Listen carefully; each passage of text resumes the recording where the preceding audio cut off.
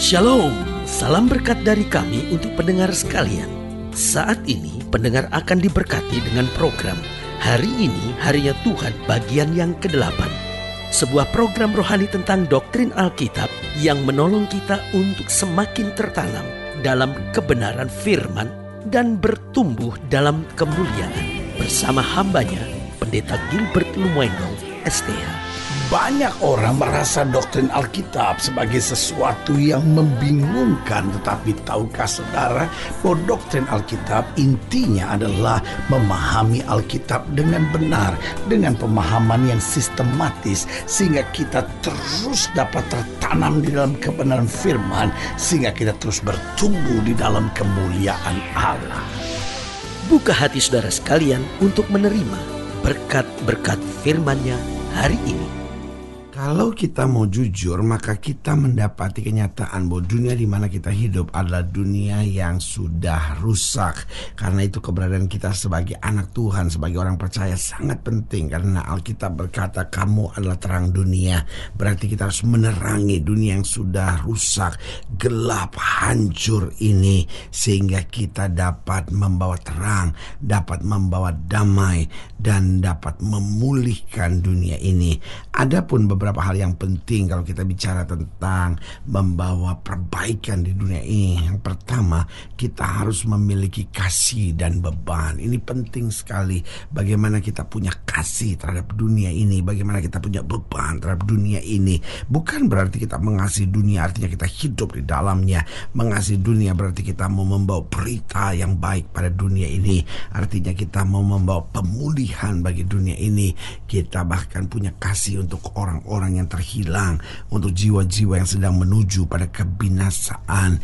Nah, saudaraku yang kasih dalam Tuhan, dunia ini penuh dengan orang-orang yang mau mengambil sebanyak-banyaknya dari dunia ini, tetapi kita kehilangan orang-orang yang mau memberikan sebanyak-banyaknya bagi dunia ini. Saudaraku yang kasih dalam Tuhan, untuk itulah Kristus datang.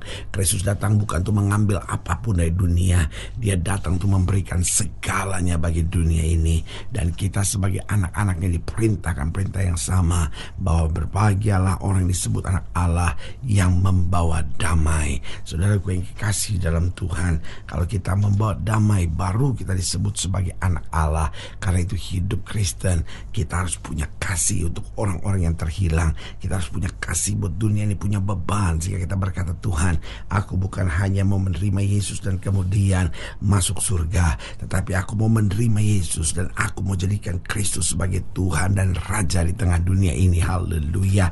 Yang kedua saya pelajari kalau kita sadar bahwa kita adalah anak Tuhan orang percaya, berarti yang harus kita mengerti tentang dunia ini, kita harus memiliki kapasitas dan keberanian untuk menjangkau dunia bagi Kristus. Artinya apa memiliki kapasitas? Kita kembangkan talenta yang kita miliki di muka bumi ini karena setiap kita sebetulnya sudah diberikan talenta dan karunia oleh Tuhan dan ketika kita kembangkan kapasitas kita makin indah dan akhirnya kita memiliki keberanian untuk berkata Tuhan saya tahu dunia rancangan yang jahat buat saya. Saya tahu dunia berlaku curang terhadap saya. Saya tahu dunia semakin jahat dan tidak pasti. Tetapi saya datang di dalam nama Yesus dan roh yang ada dalam saya lebih besar dari roh yang alam dunia ini. Haleluya. Berarti jelas buat kita bahwa kalau kita mau menjangkau dunia buat Kristus kalau kita mau membawa damai dan mendatangkan pemulihan yang pertama kita harus memiliki kasih dan beban. Yang kedua, kita harus memiliki kapasitas dan keberanian. Yang ketiga, kita harus memiliki ketekunan dan kesabaran. Karena Alkitab sudah berkata dunia akan menolak. Saudaraku yang kasih dalam Tuhan, itu berarti ketika kita memulai, kita akan berhadapan dengan hal-hal yang mungkin tidak menyenangkan. Tetapi jangan menjadi orang-orang yang sembarangan dan kemudian tidak tekun dan sabar. Ketika kita berkata, wah kok saya coba menginjil dunia, saya coba meluruskan dunia ini orang-orang di sekitar saya, tapi kemudian mereka menolak, ya udahlah percuma lah semuanya memang mereka menolak. Saudara gue yang kasih dalam Tuhan di dalam ketekunan dan kesabaran selalu ada kemenangan berkat kemurahan Tuhan yang luar biasa. Dan yang keempat, dunia yang rusak ini kalau kita mau menjadi berkat, kita harus memiliki semangat dan bekerja keras. Saudara gue yang kasih dalam Tuhan, sebagai hamba Allah saya mau ingatkan buat saudara, hukum Tuhan berkata, kalau kita mau setia dalam perkara kecil, Tuhan berkati kita dalam perkara yang lebih besar. Jangan pesimis melihat apa yang terjadi di dunia ini. Jangan pesimis melihat lingkungan kita lalu berkata, ah semuanya sudah rusak, percuma lah. Tetapi hari ini saya mau beritahu roh yang ada dalam kita lebih besar. Dari dunia ini kita bisa menang bersama dengan sistem dunia yang makin jahat ini. Tetapi kita diberkati oleh Tuhan. Kita dipulihkan Tuhan. Sejauh kita nggak putus asa. Sejauh kita masih punya optimis iman yang berkata Tuhan pakai hidup saya dan bersama Tuhan saya akan melakukan perkara-perkara yang besar. Haleluya. Selamat datang dalam program kita hari ini harinya Tuhan. Sebuah program rohani yang kembali mengingatkan kepada kita betapa pentingnya kita menjadikan firman Tuhan sebagai dasar kesaran hidup kita. Karena selama kita jadikan firman Tuhan sebagai dasar kesaran hidup kita, langkah-langkah ke depan kita penuh dengan kepastian kemenangan berkat mujizat dan perkara-perkara besar. Haleluya. Dan kita sedang membahas satu kata penting yang yang diperlukan di dunia ini yaitu memperbaiki. Kita harus memperbaiki hari depan kita, kita harus memperbaiki keluarga kita, dan kita juga harus memperbaiki dunia yang makin hari makin rusak ini. Bukan mulai dari sistem dunia ini, tapi mulai dari keseharian kita, lingkungan kita, mulai dari bagian yang terkecil. Karena kita berkata kita akan menjadi saksi Tuhan mulai dari Yerusalem, Yudea, Samaria, sampai ke ujung-ujung bumi. Berarti kita mulai dengan lingkungan sekitar kita, hidup kita, keluarga kita, orang-orang di sekitar kita, dan kemudian terus kita membawa berkat yang besar bagi dunia ini. Haleluya. Nah, saudara yang kasih dalam Tuhan, dalam program ini, dalam program tentang memperbaiki, kita mau sama-sama belajar dari Nehemia pasalnya ketiga. Nehemia pasalnya ketiga, kita mau sama-sama belajar dari ayat yang ke-13. Nehemia pasal 3, ayat yang ke-13, terus kita akan kupas sampai ayat yang ke-32. Demikian firman. Tuhan dikatakan Nehemia pasal 3 ayat yang ke-13 sampai 32. Pintu gerbang lebak diperbaiki oleh Hanun dan penduduk Zanoah. Mereka membangunnya kembali dan memasang pintu-pintunya dengan pengancing-pengancingnya dan palang-palangnya. Pula tembok diperbaiki sepanjang seribu hasta sampai pada pintu gerbang sampah. Pintu gerbang sampah diperbaiki oleh Malkia bin Rekab, penguasa wilayah Bet Kirem. Ia membangunnya kembali dan memasang pintu-pintunya dengan pengancing-pengancingnya dan palang-palangnya. Pintu gerbang mata air diperbaiki oleh Salum bin Kol Hose, penguasa wilayah Mispa. Pintu gerbang itu dibangunnya kembali, diberinya atap dan dipasangnya pintu-pintunya dan pengancing-pengancingnya dan palang-palangnya. Juga diperbaiki tembok kolam penampung air saluran dekat taman raja sampai pada tangga yang menurun dari kota Daud. Di sampingnya Nehemia bin Asbuk penguasa setengah wilayah Betzur mengadakan perbaikan sampai di depan pekuburan Daud dan sampai pada kolam buatan dan rumah para pahlawan. Di sampingnya orang-orang Lewi mengadakan perbaikan yakni Rehum bin Bani dan berdekatan dengan diazabnya penguasa setengah wilayah Kehila yang satu untuk wilayahnya. Di sampingnya wilayah saudara mereka yakni Binui bin Henadad, penguasa setengah wilayah Kehila yang lain, mengadakan perbaikan berdekatan dengan dia Eser bin Yeshua penguasa Mispa memperbaiki bagian yang berikut. Di depan pendakian ke gudang senjata dekat sudut. Di sampingnya Baruch bin Zabai memperbaiki bagian yang berikut dari sudut sampai ke pintu masuk rumah imam besar Eliasib. Di sampingnya Mermot bin Uriah bin Hakos memperbaiki bagian yang berikut dari pintu masuk rumah Eliasib sampai pada ujung rumah Eliasib. Di sampingnya para imam orang-orang dari lembah Yordan mengadakan perbaikan. Di samping mereka Benyamin dari Hazub mengadakan perbaikan di depan rumah mereka. Di samping mereka Azaria bin Maaseya bin Ananya mengadakan perbaikan di samping rumahnya. Di sampingnya bin Nui bin Henadad memperbaiki bagian yang berikut dari rumah Azaria sampai sudut dan sampai penjuru.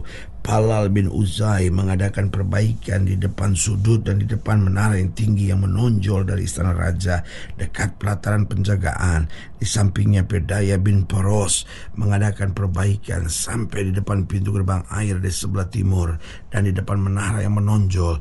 Adapun para budak di bait Allah tinggal di Ophel di samping pedaya orang-orang Tekoa memperbaiki bagian yang berikut. Dari depan menara besar yang menonjol itu sampai ke tembok Ophel.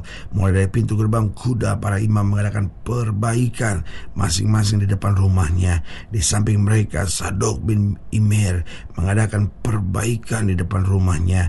Di sampingnya Semaya bin Sekhanya penjaga pintu gerbang timur. Di sampingnya Hananya bin Salemnya dan Hanun anak Salaf yang keenam memperbaiki bagian yang berikut. Di samping mereka Mesulam bin Berekhia mengadakan perbaikan di depan biliknya.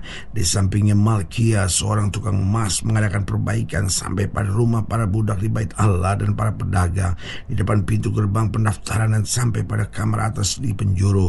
Lalu antara kamar atas di penjuru dan pintu gerbang domba para tukang emas dan para pedagang mengadakan perbaikan.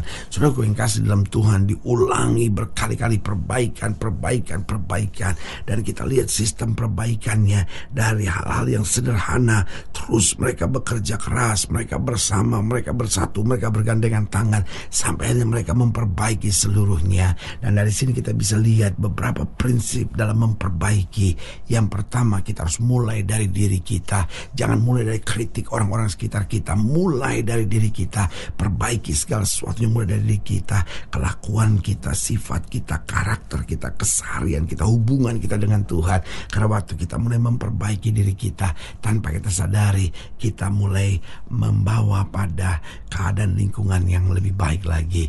Yang kedua prinsip tentang memperbaiki jangan cepat putus asa. Karena yang namanya memperbaiki sesuatu itu tidak mudah. Itu membutuhkan keberanian dan ketekunan jangan cepat putus asa. Seringkali kita nggak mampu bukan karena kita nggak bisa. Seringkali kita nggak mampu karena kita terlalu cepat putus asa. Kita terlalu cepat menyerah. Kita terlalu cepat menghakimi dan berkata ah, memang semuanya udah parah. Nggak mungkin bisa. Asal saja ada ketekunan asal saja ada kesungguhan asal saya ada semangat dan kesabaran, Roh Kudus akan memampukan kita. Yang ketiga, prinsip dalam memperbaiki, kita harus mengandalkan Tuhan dan mengikuti rencananya. Penting sekali, saudara-saudara, mengandalkan Tuhan. Kalau kita cuma mengandalkan kemampuan, kekuatan, kebisaan kita, kita pasti akan gagal dan mengecewakan. Tetapi kalau kita mengandalkan Tuhan dan tetap mengikuti rencananya, hal-hal yang tidak pernah kita pikirkan Tuhan akan sediakan. Dan yang keempat, beberapa prinsip penting dalam memperbaiki kita harus mengerjakan yang terbaik. Apa pun yang kita bisa, kita kerjakan yang terbaik. Karena waktu kita mengerjakan yang terbaik, Tuhan mengerjakan selanjutnya. Karena itu saudara yang kasih dalam Tuhan, mari kita mulai dari diri kita. Jangan cepat putus asa. Andalkan Tuhan, ikuti rencananya dan kerjakan yang terbaik. Tuhan memampukan kita. Haleluya. Saudara gue yang kasih dalam Tuhan, jika saudara ingin dilayani lebih jauh, hubungi kami melalui telepon, hubungi kami melalui surat, kunjungi website kami, karena kami ada untuk membawa Bapak Ibu saudara senantiasa lebih dekat pada Tuhan dan mengalami kasih kuasa mujizat yang luar biasa. Haleluya. Secara khusus melalui program ini juga saya mau berdoa buat siap yang sakit, siap yang berbeban berat, karena saya percaya bahwa bagi Allah tidak ada perkara yang mustahil. Nah, saudara-saudara yang didoakan secara khusus, boleh taruh tangan kanan saudara di dada dan kita akan berdoa mari kita berdoa Bapak dalam nama Yesus hamba doa buat yang sakit, hamba doa buat yang berbeban berat, hamba doa untuk setiap mereka sedang menghadapi masa-masa yang sukar, karena hamba percaya bahwa bagi Allah tidak ada perkara yang mustahil. Bapak mau berdoa di dalam nama Yesus Tuhan jamah, yang sakit Tuhan sembuhkan, yang lemah Tuhan kuatkan, yang susah Tuhan hiburkan, yang jatuh Tuhan angkat, sehingga hari-hari yang penuh kemenangan boleh berlaku. Secara khusus hamba doa buat mereka yang taruh tangan kanannya di dada, di dalam nama Yesus Tuhan jamah, mereka mungkin mulai putus asa, mereka mungkin mulai menghakimi dan melihat segala sesuatunya sudah nggak beres, nggak benar, sudah rusak. Hamba berdoa di dalam nama Yesus sehingga setiap kami punya keberanian untuk memperbaiki, punya beban, punya kasih untuk memperbaiki. Sehingga di mana pun Tuhan tempatkan kami, kami boleh menyatakan kasih Kristus. Di dalam nama Yesus kami berdoa. Haleluya. Amin. Saudara yang kasih dalam Tuhan kita sudah berdoa. Ingat Allah tidak pernah lalai menepati janjinya. Inilah saatnya buat kita untuk bangkit bersemangat, bersuka cita dalam menghadapi segala perkara. Karena kita tahu Yesus hidup, Yesus berkuasa dan senantiasa siap mengerjakan yang terbaik buat anak-anaknya. Doa saya menyertai saudara sampai berjumpa pada program berikut dan jangan lupa jadikan hari ini harinya Tuhan. Haleluya.